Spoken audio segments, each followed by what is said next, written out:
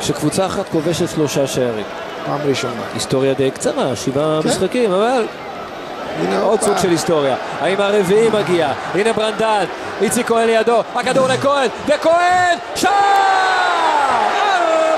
4-0! חגיגה בית"רית, רוני לוי פשוט נבוך, לא נעים לו. הפרש השערים של רמת השרון הולך ומידרדר. אם הפרש השערים יקבע מי תרד ליגה, רמת השרון תרד ליגה. 4-0, ספק. איציק כהן עם צמד, לקח סיכון, הלך התקפי, שאלת אותי למה זה מסוכן עם- בעיניי לפחות, והנה אתה רואה.